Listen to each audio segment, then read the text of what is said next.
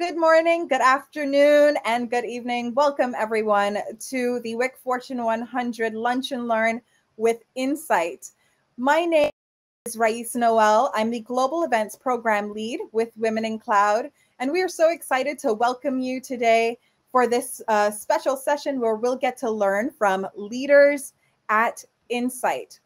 For those of you where this is your first time joining us for one of these sessions, you're in for a real treat uh, there's lots to uh, to cover, and you'll get to meet people and learn and get insights from Insight. Uh, so, with that, I'll just start by getting you comfortable with this space that we're in right now. For uh, for those of you where Remo platform is new, we want to be sure that you know that you can engage in the chat, share your comments, use the uh, use the emojis to uh, to share your reactions and in today's session, Insight is going to be sharing with us the power of strategic partnering with Insight. And then we'll have a power panel uh, with some leaders from the organization talking about the trifecta approach to building that strategic relationship in regards to you know talent business development and alliances then we're going to have a cloud solution showcase and that's where we have two entrepreneurs from the Women in Cloud ecosystem that are going to uh, showcase and demo their innovative solutions so that you can learn more about them and uh, find out about their solutions that they're that they've developed and that are ready for enterprise. Then the highly sought after experience is the advisor roundtable experience. So we have some advisors from Insight that are going to be talking about all sorts of uh, different things, partnerships, uh, breaking into in getting into Insight, job opportunities. Uh, so on and so forth. And uh, you'll have some time to meet with those folks in the virtual lounge. So, with that, I'm going to hand it over to Chaitra Vedullapalli to tell you a little bit more about Women in Cloud and then introduce Amy Protexter from, from Insight for her Power Talk. So, welcome, Chaitra. Thank you, Raisa, for a warm welcome. So excited. It's Friday. So, happy Friday to all of you. I'm really excited to be here and uh, really a warm welcome to all of you. So, we are so excited that you're with us and we get to connect, learn, and explore uh, opportunities with Insight. And uh, Insight is a publicly traded global technology company that focuses on business to business and information technology capabilities for enterprises. Uh, Insight focuses on three primary solution areas, which is cloud and data center transformation, connected workforce, and digital innovation. Uh, the best thing about uh, uh, Insight is they're recognized as one of the world's best employers. So we want to give a warm welcome to all the Insight leaders who are with us today and engaging with the Women in Cloud community and by and also thank you for joining the ecosystem and collectively solving the global crisis that we have in front of us for women so for people who are new to WIC, I am Chaitra Vedullapalli. I'm the co-founder and president of Women in Cloud. Uh, we are a community-led and economic development organization with an audacious goal to create a billion dollars in economic access for female founders and professionals in the enterprise ecosystem.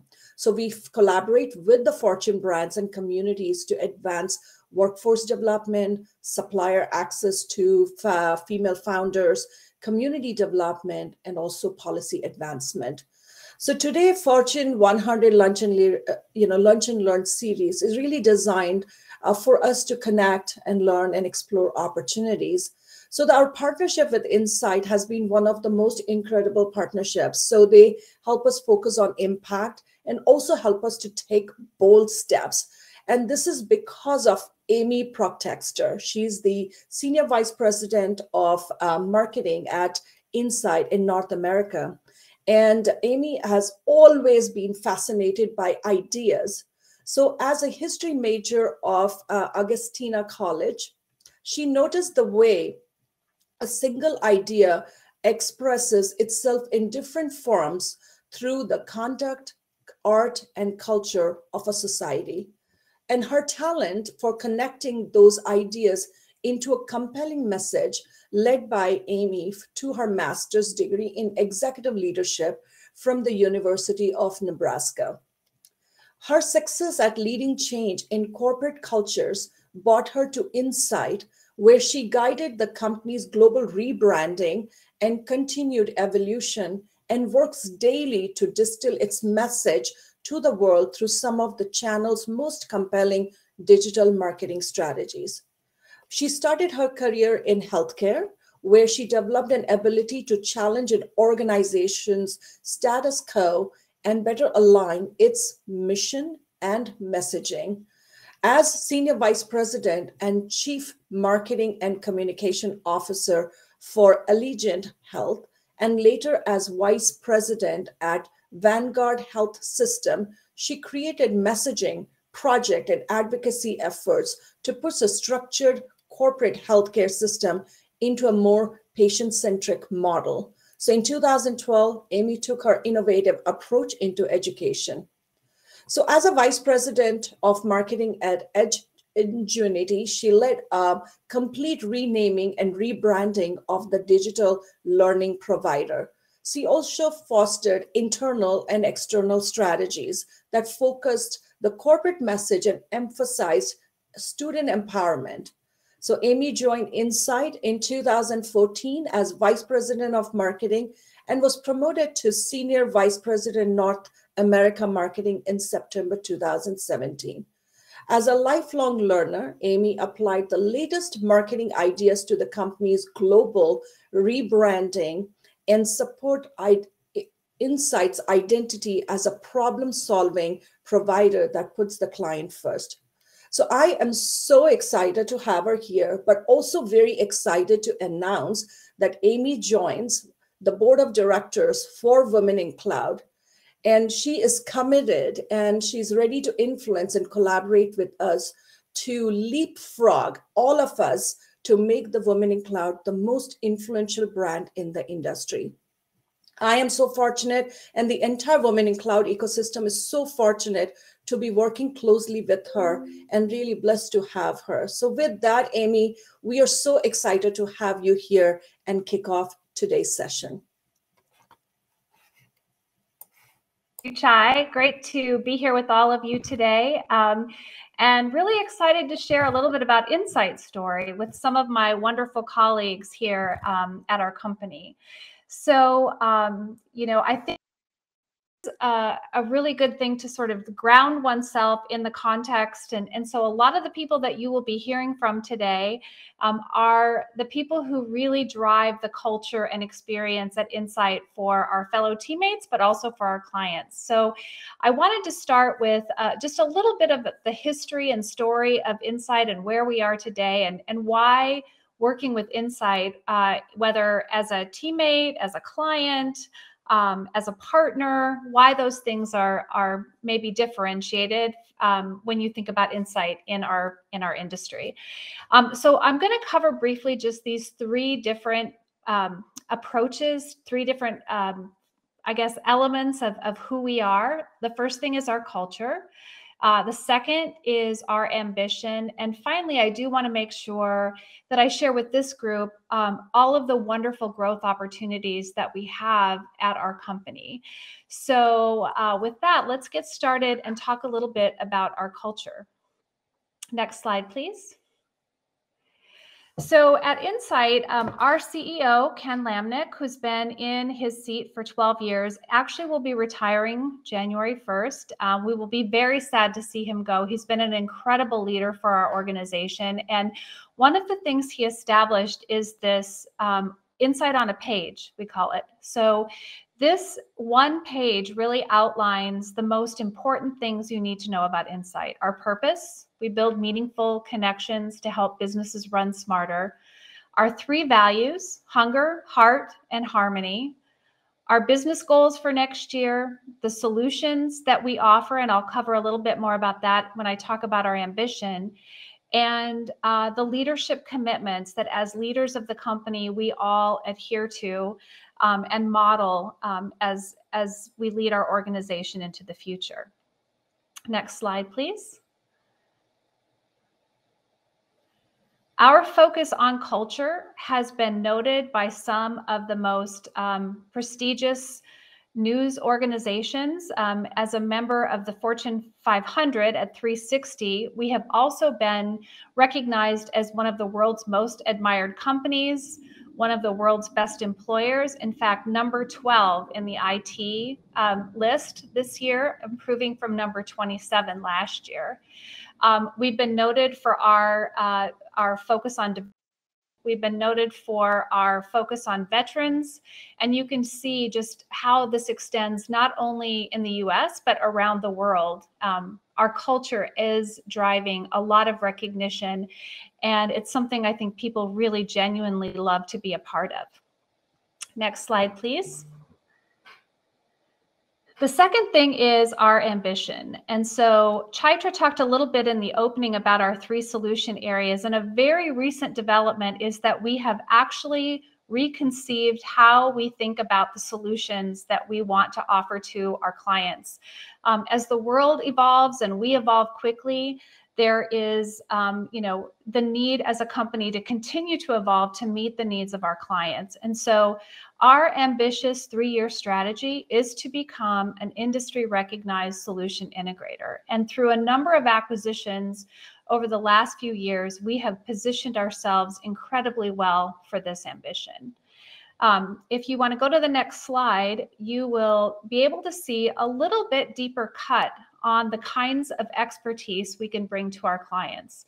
Things like our modern workplace solutions, modern apps, modern infrastructure, but also helping our clients explore the power of the intelligent edge, um, leveraging data and AI, and of course, um, something on everyone's minds, protecting every company from the cybersecurity threats that are just so ever present um, in our world today. We support those with um, a number of really um, incredible services, some of which are built on our legacy technology business, um, and really provide a way for our clients to experience multiple ways we can help them achieve their own ambitions. Next slide. Finally, I just want to speak a little bit about the growth opportunities at Insight under the leadership of our CEO, Ken Lamneck, and soon to be Joyce Mullen. I'm really excited that we will have another female joining. Um, at, um, she's already president, but but becoming our CEO at that at that level, um, we've focused a tremendous amount over the last few years on leadership. And I I don't know about all of you, but I feel like the world is in desperate need of more leaders these days. And so our focus on leadership development um, to create an entire continuum for uh, young first time managers um, and, and aspiring managers all the way through our senior executive team, um, which gets together for about three to four days every single year globally to learn and grow together. Um, this has really been an incredible experience. I mean, as a student of leadership all my life, um, having access to these kinds of offerings is it's just been incredible. So um, I think it's important for you all to know the level at which we we focus on leadership um, and leadership development. And finally, um, part of that I think is really looking for opportunities like this one with Women in Cloud. Like finding ways of partnership to help everyone grow. Um, I have learned so much from people like Chaitra. Um, and I love the networking opportunity that Women in Cloud has brought me to meet so many amazing women, entrepreneurs, partners, um, emerging leaders. And I think, you know, leveraging women in cloud um, and i'm so excited by the way by the opportunity to help make this the recognized brand for women in technology. I think that is just an incredible ambition, and I'm so excited to get started as a member of the board. Um, but I do want to thank Women in Cloud for all of the opportunities that they are creating for women um, in multiple in multiple ways, from entrepreneurship and support to get people. Um, you know, well positioned to take their products to market, to working more deeply with corporate uh, corporations like Insight as a supplier, um, and finding employment. Certainly, we have a tremendous need for very talented uh, technologists, and we'd love for those to be more women. So, with that, I'm really excited to introduce uh, four of my colleagues, amazing women, amazing leaders at, at our company. Uh, Michelle Rowe, who is the director of HR for Insight and leads our diversity, equity, and inclusion programs. Um, Jen Marks, who's a senior program manager for diversity at Insight. Suzanne Gallagher, vice president of our go to market at Insight, and finally Brooke Meunier, a director in our client experience uh, team. So these ladies um, are going to talk a little bit about uh, some of the other things that are, are going on at Insight, and I'm just so excited to turn it over to Michelle, who's going to serve as our moderator. Great. Thank you so much, Amy. And I am so incredibly honored to be here with all of you today. Uh, my name is Michelle Rowe, as Amy said, and I have the honor of leading our diversity, leadership, and organization development team uh, here at Insight. And I, you, well, most of you have heard me say this that anybody who works with me, I have the best job in the world uh, because we get to impact the culture and our teammates and our communities every single day. Uh, now, I'm sure some of these faces that you see right now will argue with me on that because they probably believe the same about their roles. Uh, but I just wanted to give a minute for everybody to introduce themselves, and then we will go ahead and jump in. As Amy said, I am moderating but because I do have uh, the background of really impacting the diversity and leadership for our teammates and everything internal there, if there's anything that comes up or any questions, uh, I will jump in and answer some of those as well. So, Suzanne, I want to start with you. Do you want to go ahead and introduce yourself a little bit more? Absolutely. Um, Suzanne Gallagher, um, as Amy said, I run our go to market strategy and solutions, which is um, as well one of the best jobs, I think, uh, working with such great team members.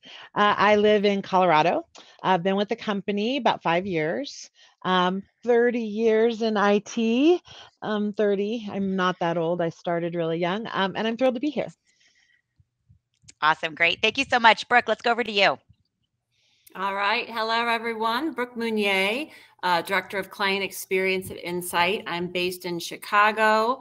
I have been with Insight a whopping 18 years now um, and served in a variety of roles across operations, service delivery, now focused on really creating um, an outstanding client experience.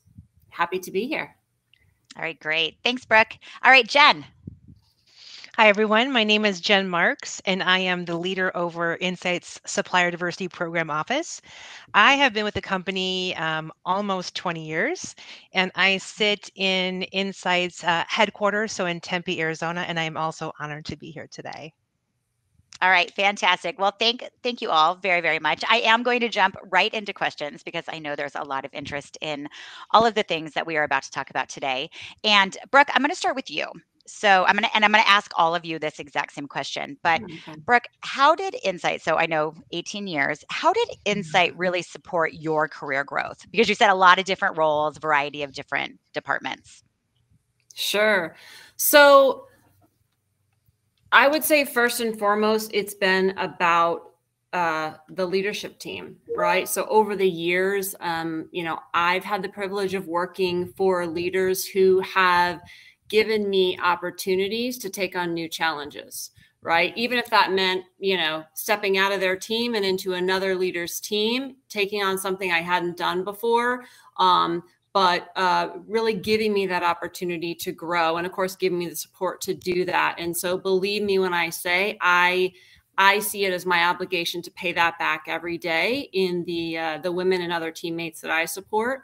So first and foremost the, the leaders I'd also certainly have to call out just some of the access I've had to top notch training and development programs. Um, and then last but not least, just the culture. So, you know, every day I'm surrounded by teammates who are equally as curious about how can we improve and, and what technology solutions can we really integrate to have a bigger impact. And that exposure and that sort of you know, um, you know, working with A players every day really helps me to up my game. Awesome. Thank you. Suzanne, how about you? You know, I, I would echo a lot of what what Brooke said, right? I think insight, you know, in my stay, and and I've been through 22 acquisitions in my career, not not on purpose. It's just kind of 22? been, yeah, yeah. Uh, So, you know, this this kind of bringing goodness of cross groups of people and Mhm. embracing that and and seeing where their paths are. And so coming to Insight via acquisition and seeing Insight do additional acquisitions right? That that con- that constant culture of how to make you the best you can be and, and offering that it's self-serve and meaning like you've got to go Mhm. take advantage of that right but uh, but fundamentally having such broad offerings and support mechanisms and you know mentorship and and uh, training and and just exposure to the breadth of portfolio and a players is really what's uh, what's phenomenal about the company from that perspective Awesome. Thank you. And Jen, in 20 years, how about you? So for me, I, I have to say, there's always been a really transparent path to success. And like, you know, Brooke says, it really comes down to the leadership. Mhm. And, you know, whether that's goal setting, whether that's spending time in one-on-ones, um, it's it's always been there and it's it's been very clear. And so for me, what I, I take away from all of it is that, you know, in addition to kind of paying it forward, is always to kind of make sure that you're continuing to learn. And what's really great about Insight is that I've never once in my almost 20 years been turned down for, you know, asking, hey, you know what, could we set up a one-on-one, have a mentor, you know, mentee kind of relationship? Can I spend a little bit of time with you on a quarterly basis? Not that, you know, you can't get what you need from your managers, but there's different people in the organization, right, that you can learn from every day. Mm. And so I've loved the fact that I've always had that ability to reach out to an executive and say, can you spend time with me? And I've never once been told though. That's awesome. That's awesome. And we're talking a lot about mentorship right here and leadership and really the people that we're surrounded with every single day, right? And I think we all feel extremely lucky about that. Suzanne, um, speaking of leadership, so how does Insight really work to develop our leaders and at the same time really ensure alignment? So we have a business strategy, we have culture strategy. How do we make sure that that leadership, culture strategy, and business strategy is always aligned always aligned we don't or as often as um, possible? We don't sleep don't i think is what no no um you know i think you know like any large organization even small organization you want people to have focus and empowered for what they're good at but you also have to make sure the weave between those pieces come together and from a leadership perspective i think that empowerment of of you know and clarity of understanding your goal the outcome you have to drive and that the important financial and business strategy is just as important as your team developing, right? That Mhm. equally important is the development of the team that's going to deliver on those outcomes and those strategies um, across the different individual, you know, SME groups and and what they're thriving at. So, so I think you know leadership bringing teams to the table, and then also really enforcing kind of a red teaming philosophy, right? We work together, you drive, you're empowered to go drive what you're great at, um, but you're held just as accountable to what you're great at as to how you're working great with everybody else on the table. Absolutely. Absolutely. Well said. Brooke, same question to you. How do you see that, uh, making sure that we have that alignment there? Yeah, this one is it's so important and and I always think about the fact that we're in such a fast moving industry, right? Um, we can't have these uh, sort of rigid goals or um, um, you know, we've got to be flexible and nimble to be able to keep it keep up with the pace of change. Now that said, um, I think we've done a really good job knowing how important it is to align teams to to whatever the business strategy is, and to make sure we're all working in that direction to set those frameworks, right? So I know we spend a lot of time really getting the framework right that drives the right level of consistency and expectations. And Amy spoke a little bit to this when she kicked off, talking about all the work we've done to really uh, and revisit every year what is our mission? What is our ambition? You know we're really working to integrate solutions that help our clients businesses run smarter. That's it. Everybody at insight knows that right? And then having those other frameworks around our leadership commitments right? How are we creating clarity How are we demonstrating thought leadership? How are we inspiring our people and delivering results, right? So that helps. Um, and that's durable, right? That's durable, even though some of the other parts and pieces move. And then our values, right? Hunger, heart, and harmony. So that framework helps. And those create tools. I mean, I can tell you as a leader, I use those tools for setting my goals, my team's mm-hmm. goals. I use those tools in interviewing. I use that for succession planning. I use it for coaching and mentoring. That really helps to make sure we stay aligned.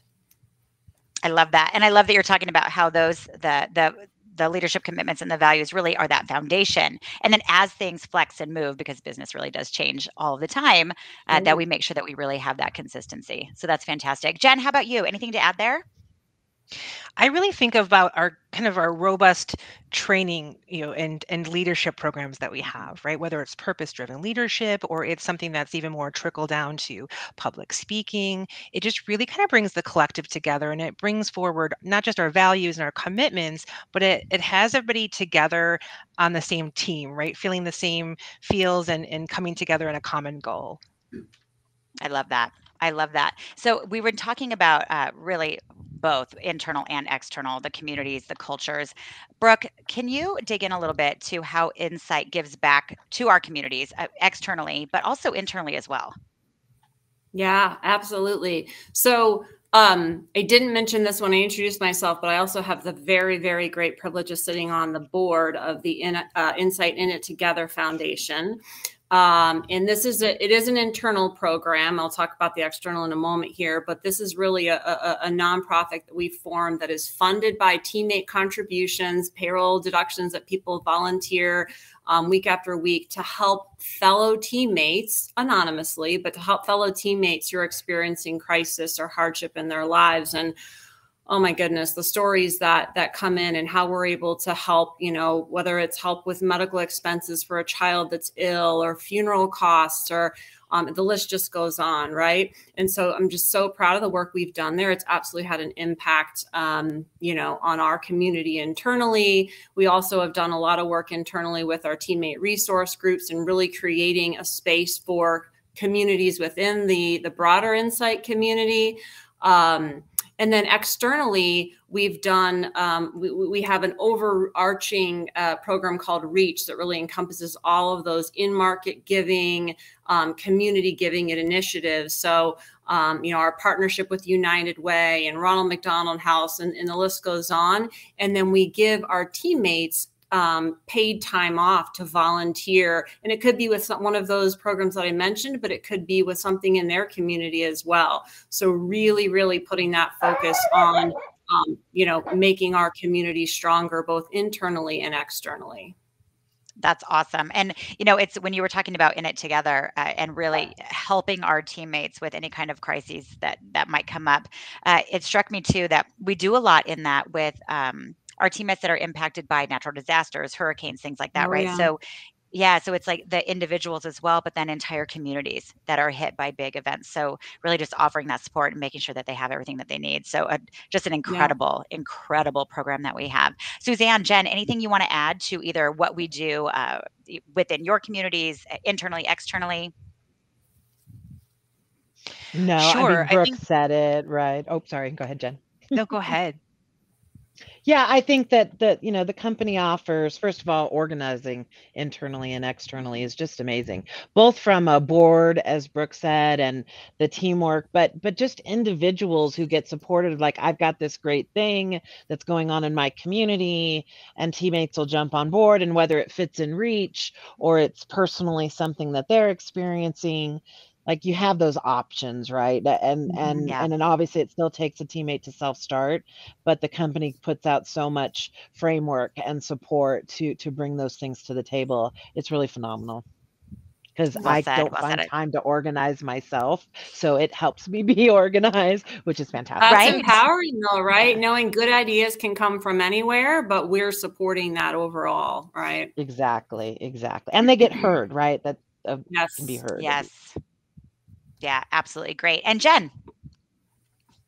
Yeah, I wanted to mention, you know, the the grassroots efforts or the department efforts, right, that also happen in addition to all of that kind of that company support. So the, the departments that I've been a member of. Right now, a member of the the finance team at Insight, and you know, for for this year, the the TSS group, the teammate group within finance, is supporting you know a few different um, male foster homes, and you know, providing gifts and and needs to them. And I just think that's really great to watch it both at the company level and then trickle down for all of us to participate where we can.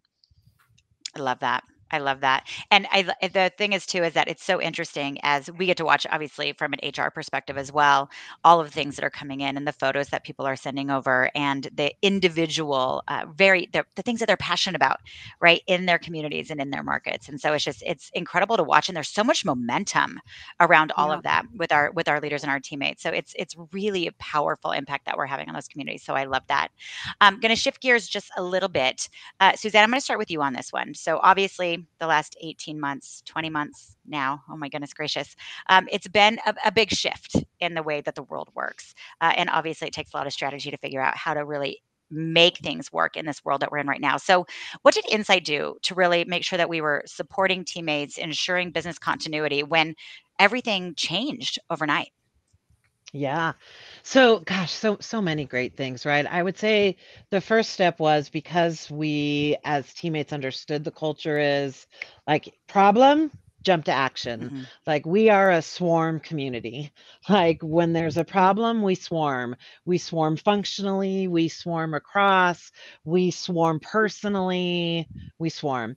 And and that was immediate, right? For for both our already existing remote workforce, which we mm-hmm. had in place fortunately and could scale up infrastructure wise to support that, to our locations that even in a remote workforce were very dependent on internet access that didn't exist um, and to our communities who were very dependent on internet access, our school districts, our counties, our places um, who couldn't get devices or couldn't get headsets in hospitals, um, who couldn't get iPads in hospitals, um, you know, from all parts of the crisis, both from a business perspective and a personal perspective, we swarmed which was phenomenal. Mm-hmm. And everybody brought to the table what they were good at um, to accentuate, right?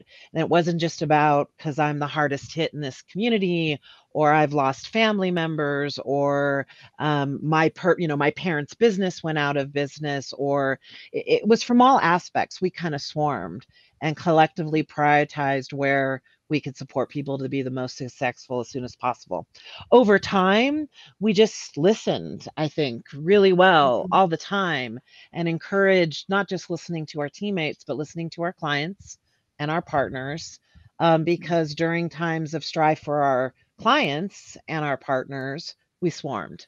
Obviously, can't swarm everywhere, but we swarmed, right? Uh, an, a market or a vertical segment that was particularly hit hard um, we wanted to be there for that client, even though they might not be able to do the business they were doing with us before or continue to do the business we did before. Um, and just listened, continued through that process for our teammates who, after 12 months and 18 months, um, mm-hmm. have depression, not just because personally, just because they're gregarious people and they haven't been around people, and uh, or mm-hmm. you know whether they were dealing something at home.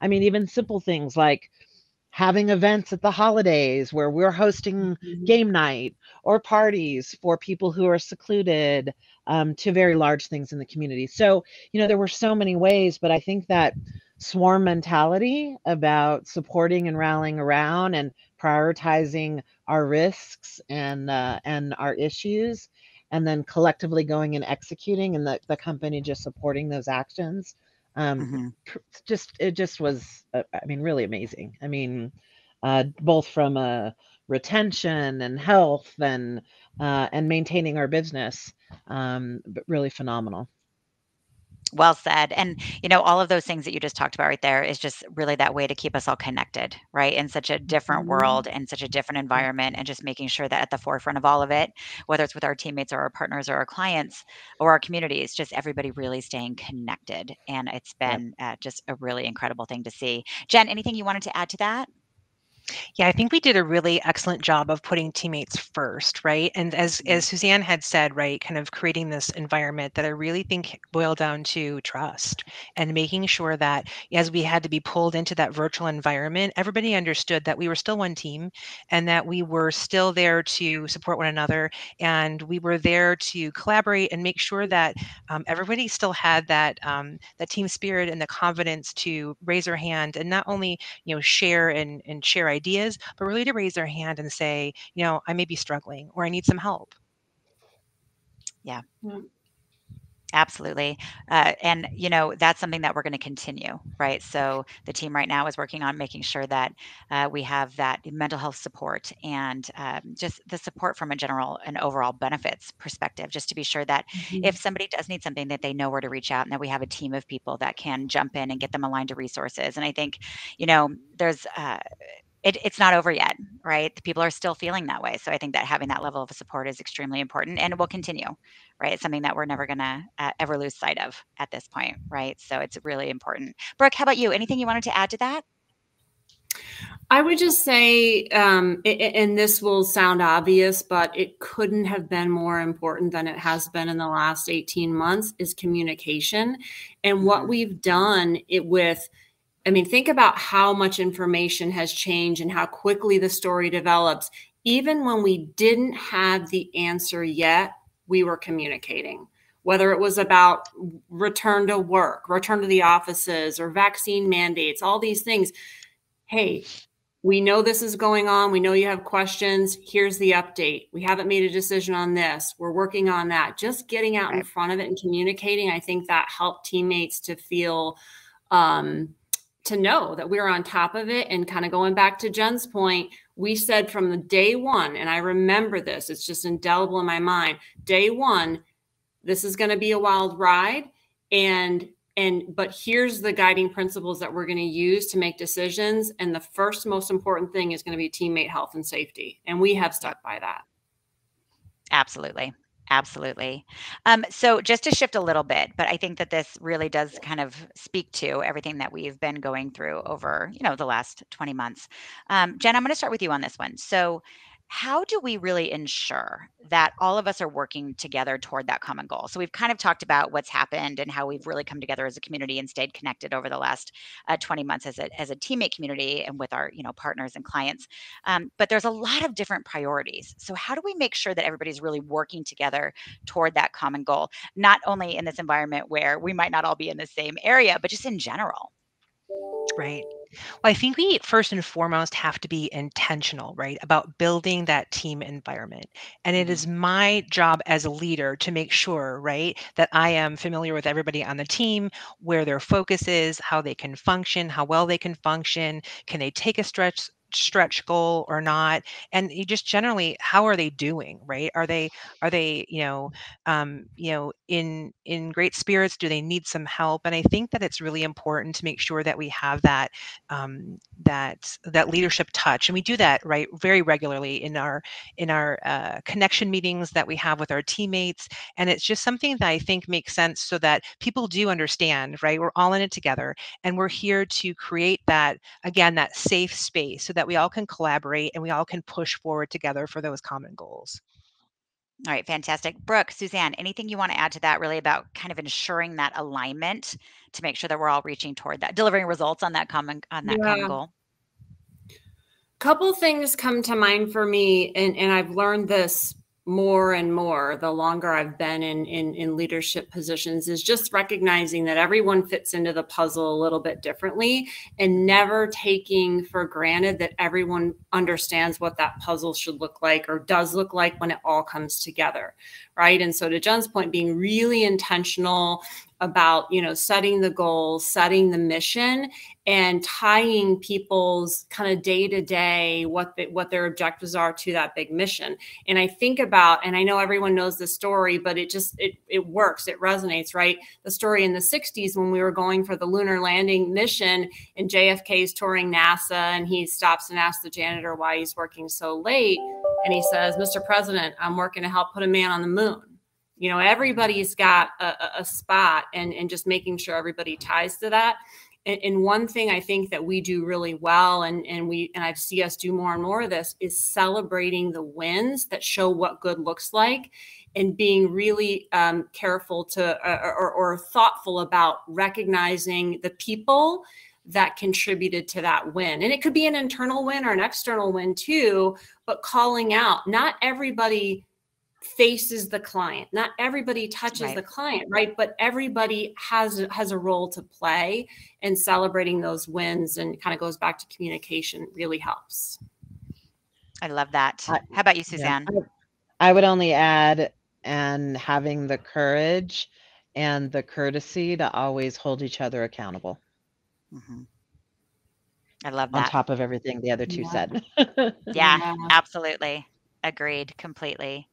Um, so Jen, I, I let's let's shift over to diversity and inclusion a bit. And um, there's a ton of diversity and inclusion initiatives that we have going on, both with our internal teammates that impact the community, but also with suppliers and, and partners. So um, how do we make sure that we're focused on that with the diversity inclusion in the existing programs um, and really everything that we're doing to impact everybody that we come in contact with each day Right. So from a procurement perspective, right, the supplier diversity program office is there to to really kind of um, form direct initiatives, right, so that we're all clear, right, that we need to do better at several things, including diversifying our supplier bench and diversifying our spend and really kind of pushing ourselves, right? So we've had prior goals, but making sure that we're pushing ourselves forward um, to do better. And for us, that really, you know, is something that um, is just going to come day by day meetings, making sure that we're all aligned and we all have that common goal, but bridging that gap then to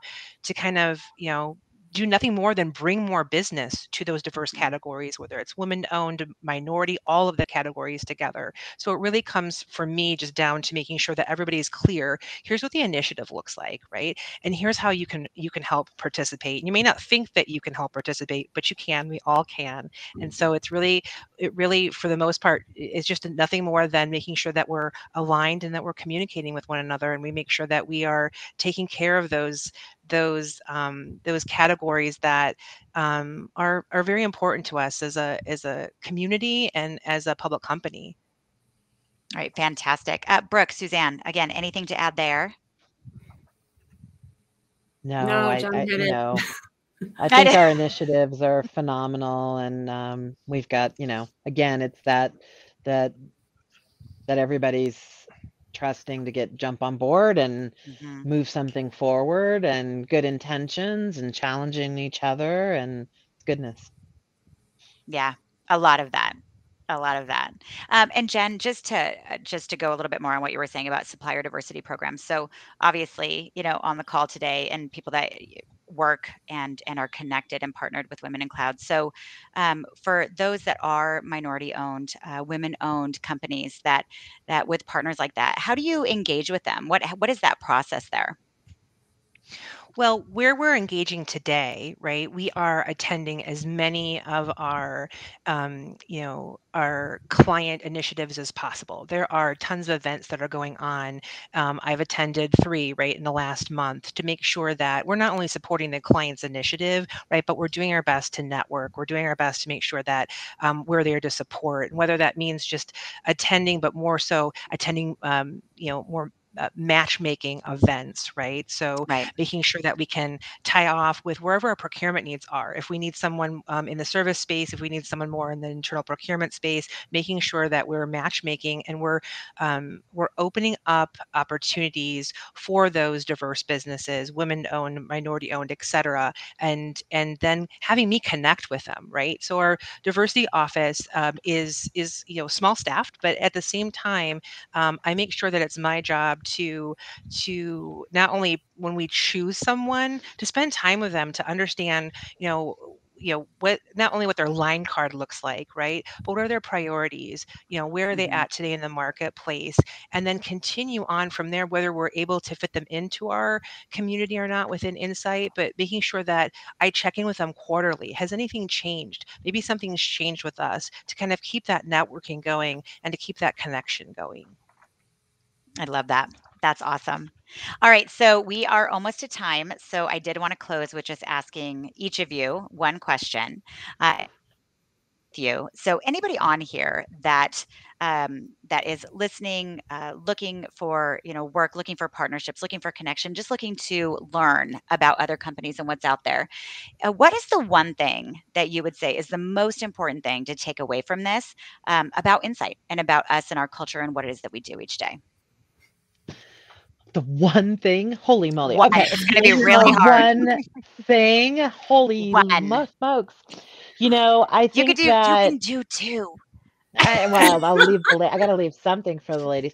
You know, I think the one. You know, as it comes to partnership and as it comes to making connections, I think the one thing to take away from Insight is the scope and scale and commitment to those functions and relationships is so broad it's it's just so rich with opportunity that you know even even if you know us as a you know a global a, you know a global fortune 500 company in any particular area. You know probably a fraction of what really is capable for the network and the partnerships and the talent right. that we have. Um, so, so you know, if you've learned anything, you've learned a fraction in this session about really the breadth of opportunity that's out there. Absolutely, well said. Definitely, Brooke. How about you? Um, this is a tough one.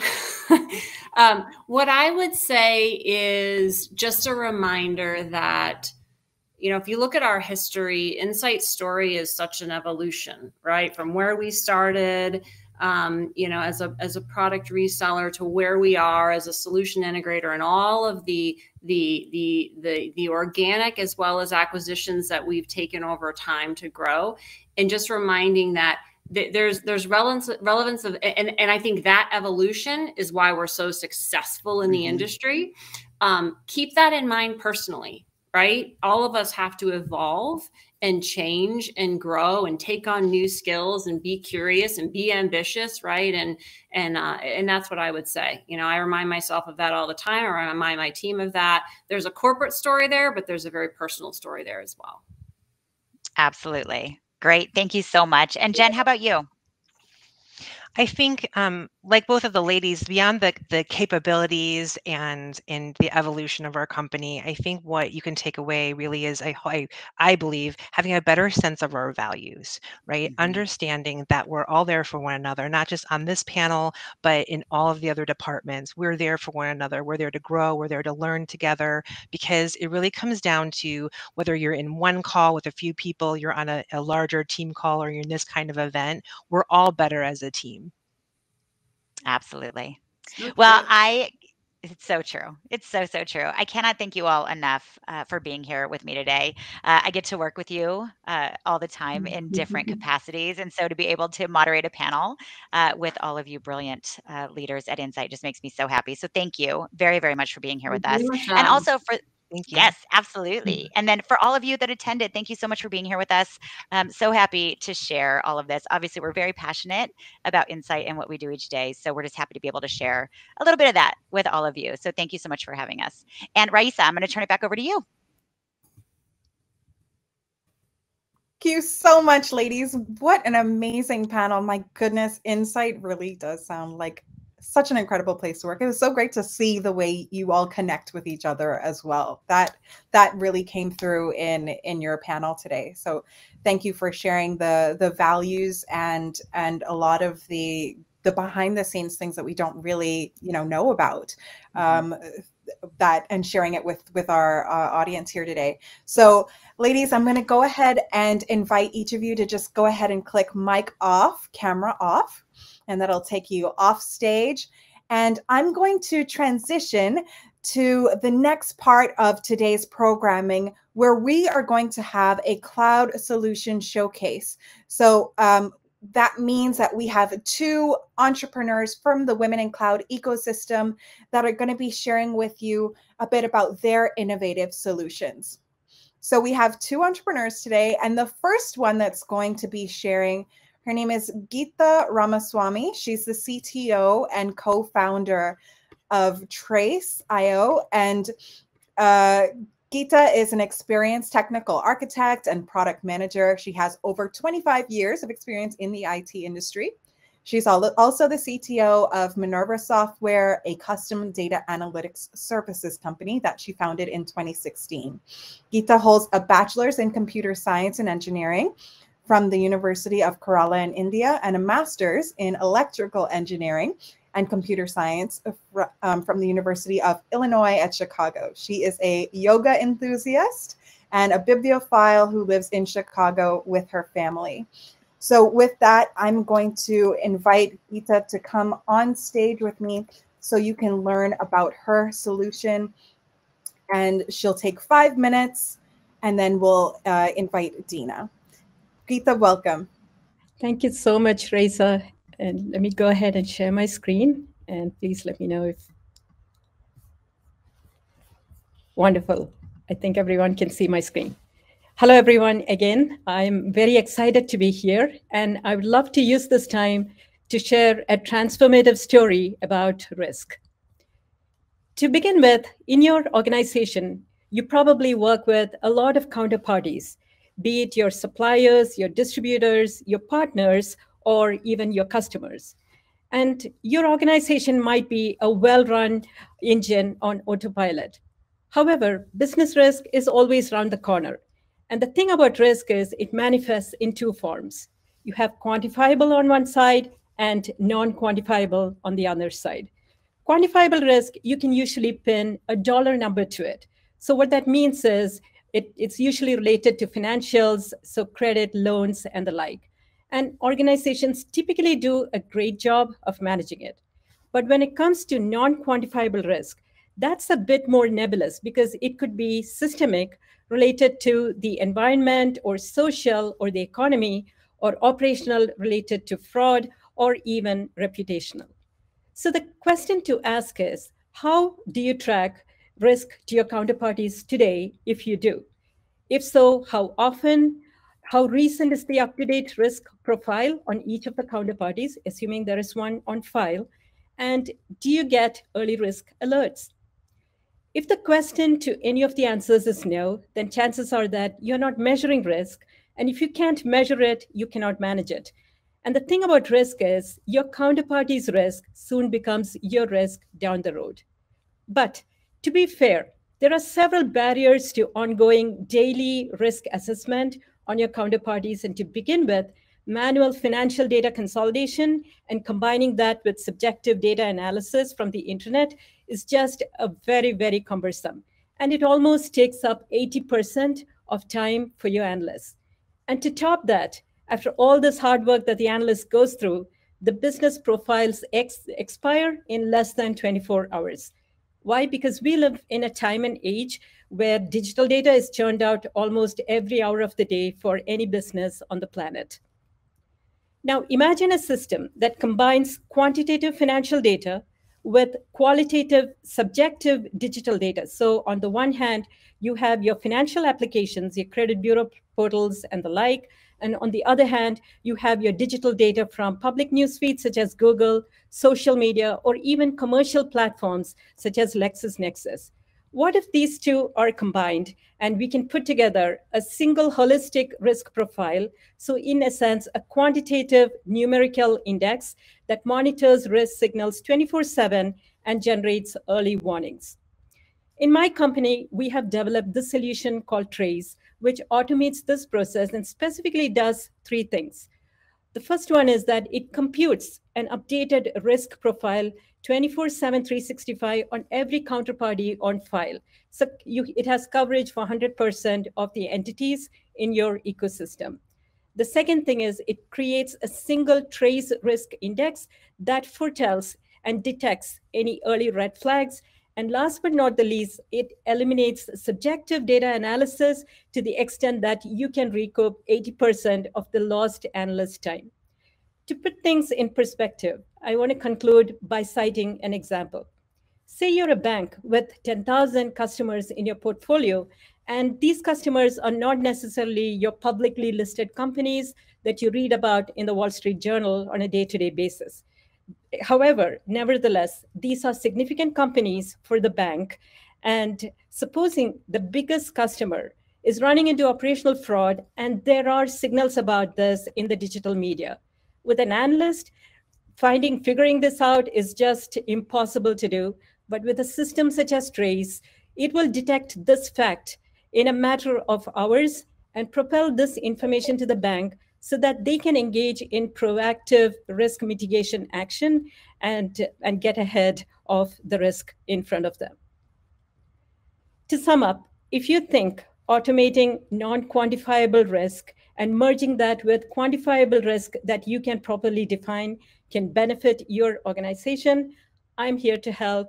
Again, excited to be here. Thank you for your time.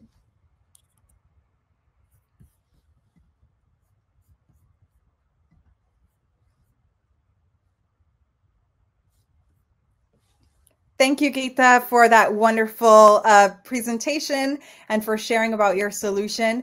Um, for all of you that are here with us today, you will be able to meet with Geeta out in the virtual lounge when we get to uh, to that portion of the programming. So, Geeta, thank you and well well done. You can go ahead and click mic off, camera off. And let's go ahead and introduce the next entrepreneur that's going to be joining us. So next up, we have uh, Dina Moskowitz. She is the founder and CEO of SaaSmax. Um, so about a bit about Dina. Dina has been the CEO from inception and has been involved in cloud-based businesses and or internet technologies for the majority of her career.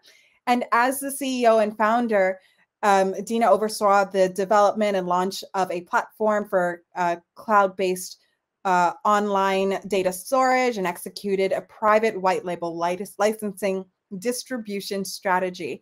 She was also the principal and founder of Corporate Business Plan Associates, through which she has provided business plan and strategic consulting services to early and mid stage companies, primarily in the technology space, for more than 15 years. Dina lives in La Jolla, California with her family and is an active member of the board of Seacrest Village Retirement Communities.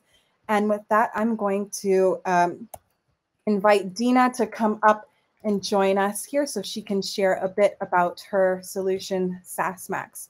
Welcome, Dina.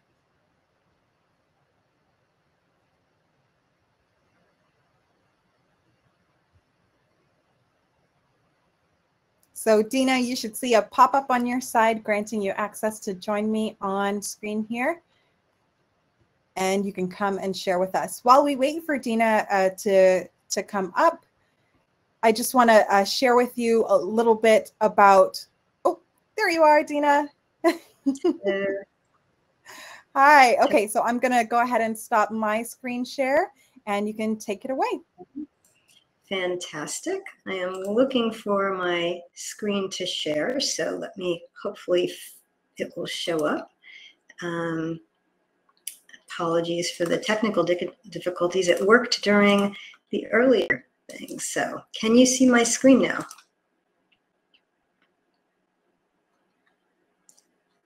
Can you see my screen?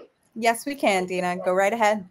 Awesome. Okay. Well, hi, everyone, and thank you for um, having me on this. The event so far has been great. And um, Amy, your team looks amazing. And I hope to someday have a, a, a company large enough to have a, a, team like yours and a corporate culture that really is that innovative and amazing to work with and for. Um, I'm CEO and founder of Sorry. Excuse yeah. me, Dina. Sorry, we're seeing um, your entire desktop. So if you want to bring up your specific oh. slides. Well, that's okay. Um, I thought I was looking at my slide deck. So let me see. I'm not sure what to do. So we were um, seeing the Remo window. Right. And let me see if, hmm. It's right now when it says what I can share, it's only allowing me to share that. And I've had this happen in his, some other ones. Let me see. Um, okay. So I do have the the deck you sent to me, so I can go ahead and share my screen, and you can just tell me when to advance. All right? That would be perfect. Fantastic. Okay, so you can go ahead and stop your screen share. Okay. Fantastic. I'll bring mine up. Good.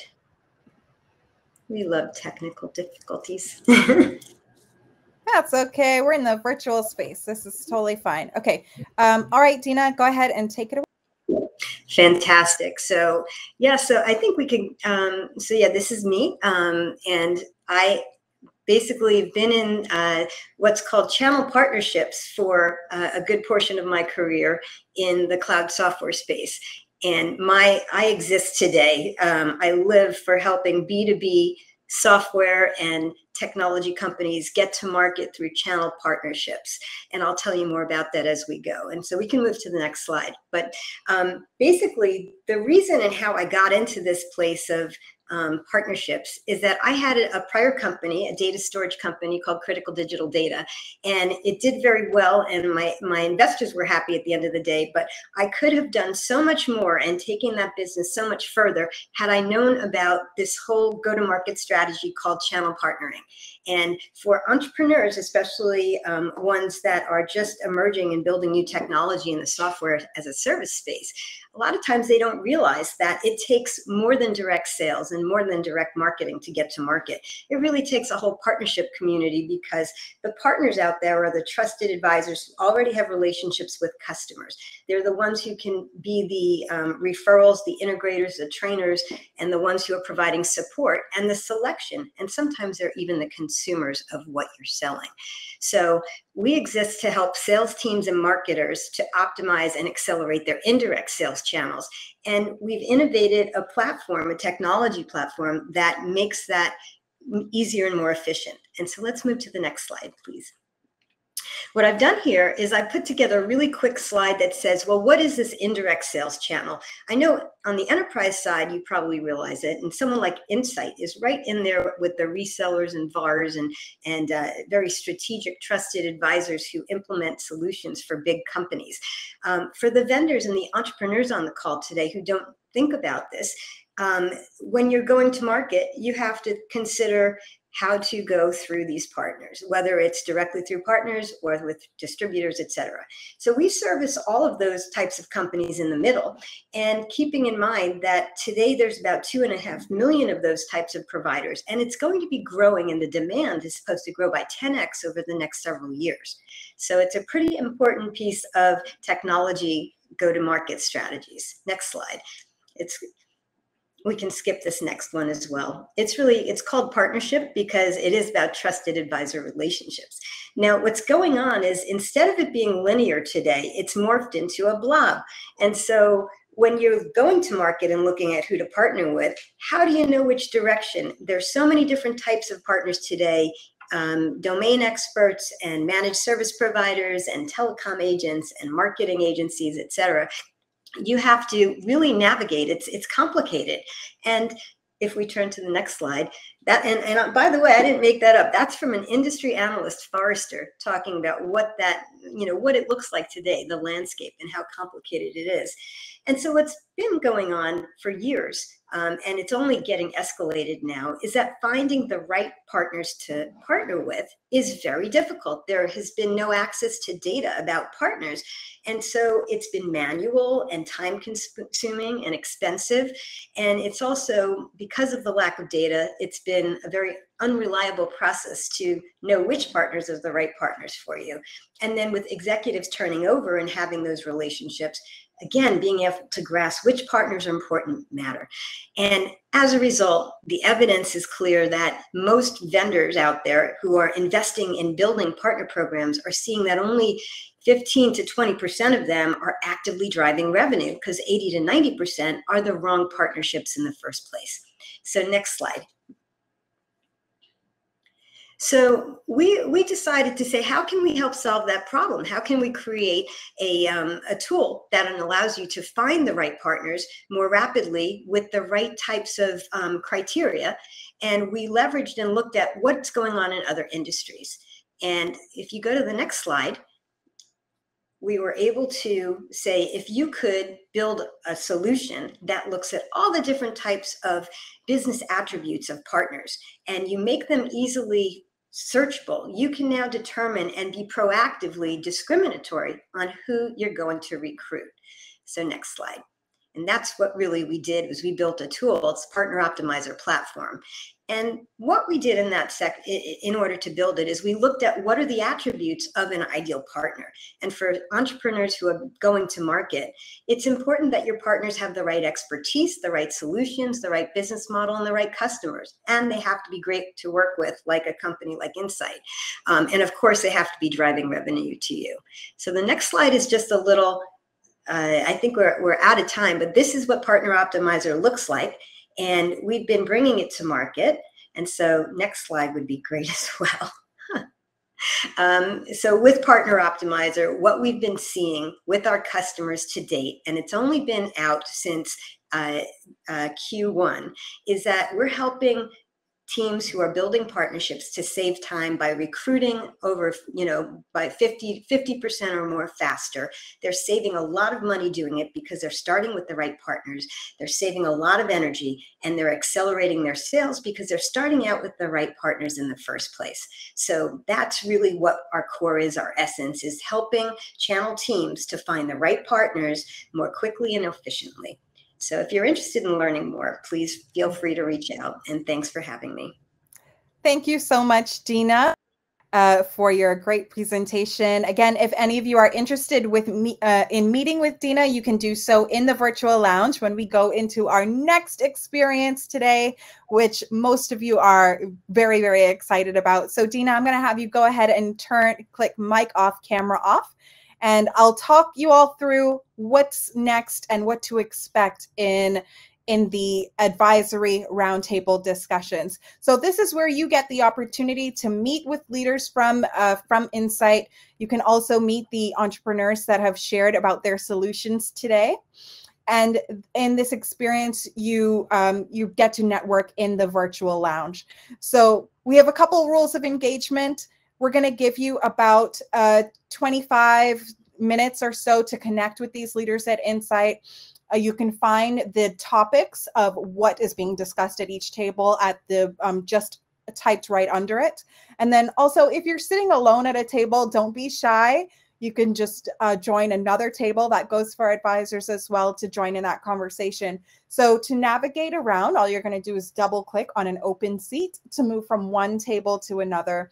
We're going to have um, a couple minutes, as I said, to do that. There will be a timer at the top of the screen, and then we'll come back for closing remarks. So I just want to show you here a couple of the advisors from Insight that are going to be joining us. Um, we have leaders speaking on uh, HR, uh, partner alliances, go to market, marketing. So lots of things are going to be covered. And I'd actually like to uh, invite uh, one or two of the advisors just to come up briefly and just introduce themselves and share what they're most looking forward to um, to getting out of today's conversations and what you can meet with them to learn about. Um, so I'd like to invite uh, Andrea Wrinkle to come join me. So Andrea, if you wouldn't mind, you should see a pop-up on your screen there. And then let's also have uh, John Carnahan come on. So you should see a pop up and you'll just take a minute to uh, say hi to everyone and uh, share a bit about yourself and what what folks can learn from um, from meeting with you today. Hi, sure. Andrea Winkle. I'm the Director of Marketing for Insight. Um, I'm on Amy Protexter's team. And um, I'm going to be able to answer any questions about how you partner with us on uh, marketing strategy. Thank you, Andrea. Uh, John, welcome. Hey, good afternoon. I'm John Carnahan. I run our uh, corporate development office, and I'm looking forward to meeting with uh, the folks here and talking about our M&A strategy uh, and how that feeds into our overall corporate strategy. And you know, you heard some things along the way on uh, how we ensure it aligns with uh, our cultural fit in building out a, a, tremendous brand and, and go to market for for Insight. Fantastic. Thank you so much, John and Andrea. You guys can go ahead and just click mic off, camera off. Um, so what, what you're seeing right now on the screen is a floor plan so you can see where you'll be able to find these folks. But most important is the topics that you can find at the different tables. So we have company culture, solutions, how to navigate the company, corporate development, co-sell and channel opportunities. There's a few tables for that. HR and recruitment, procurement, and partner alliances. So Uh, in essence of time, I am not going to share the how-to video about how to use Remo. I want you all to get into the networking. So I'm going to transition us all to the virtual lounge and to navigate to those tables. Once again, just remember to double click on an open seat and turn on your mic and camera and you'll be able to engage in conversation. We'll see you in the lounge. Welcome back, everyone. How was that experience for you getting to connect with with leaders and and folks that um, have given of their time to extend learnings to you from the Insight team? Excellent. I'm seeing some comments in the chat. Great session. Um, so with that, I want to invite a couple of the the leaders that were um, back on stage just to share what the experience was like for them um, so I'm going to invite Amy to come back up. Also, uh, I see Jen was here. Who else do we have? Suzanne, Kate. All of you should be seeing pop-ups on your on your end. Welcome you to join me on stage. So again, we want to thank all of you for really taking the time to be to be here with with us and meeting the community. So I'll just ask a few of you uh, to tell me what, what your experience was like. Uh, so Amy, how about we start with you? Um, well, first of all, I just want to thank everybody who attended today. Um, I think you can tell I have a little bit of passion I work for, and I love being able to tell the story of, of who we, what we're up to, um, you know, because we want more like-minded people to join us, and we have a lot of opportunity at Insight. So, um, had a great time and really appreciated the uh, the opportunity and the platform. Fantastic, thank you, Amy. Uh, Kate, why don't you share what your experience was like uh, meeting folks today? Sure. Um, it was great as always. I love these connections. Um, I love the Women in Cloud community. Um, I had a chance to speak with um, Garnett Weber about her market research, uh, qualitative research platform, which was super interesting. Um, so it was great as always, and really appreciate the opportunity. Um, and thanks for everyone for joining us today. Excellent. And thank you again to all of you. Really a heartfelt thanks to all of you at the Insight team. Uh, I know that our entrepreneurs and job seekers really, really appreciated your time today. Um, so I want to invite you all to just go ahead and click mic off, camera off. I want to invite uh, one of the entrepreneurs that was was here, actually uh, two of them, to just share their feedback. So I'm going to have um, bring up Garnett Weber, Weber, and then I know that Sonal was there and uh, communicating with some folks. So each of you should see a pop up. Hi, Garnett. Hi. Happy Hello. Friday. Hi, Sonal. so, uh, so uh, Sonal, I'll start with you. Why don't you share with us what your experience was like uh, in the connections you made and conversations you had uh, at today's Lunch and Learn? Uh, thank you, Raisa. It is always uh, uh, it is always wonderful to attend uh, Women in Cloud events. It is uh, extremely meaningful, and it has been a great, great platform to connect with like uh, such authentic uh, and amazing uh, uh, lead women leaders. I had a great conversation with Jennifer Marks regarding supplier diversity program at Insight. They have a, a, great program running, and I'm looking forward to connecting with her soon. Fantastic. How, how was your experience? What did you, what was your key takeaway from, from your conversations today? Uh, well, it's uh, it was great. I love the beginning and hearing the great things about culture. And as I go into strategic planning for our company for the upcoming year, it was fun. I love having the whole business plan on one page because I'm as we grow our team, getting everyone aligned. And I love the different cultural uh, pieces, and it's making me really evaluate uh, what's what's ideal and what do I really want to drive uh, within my company. And you can see it when uh, I had a great conversation uh, with Jennifer Marks and Amy and uh, Kate. And it was really interesting to see how uh, they're really living and breathing that culture every day and uh, very inspiring.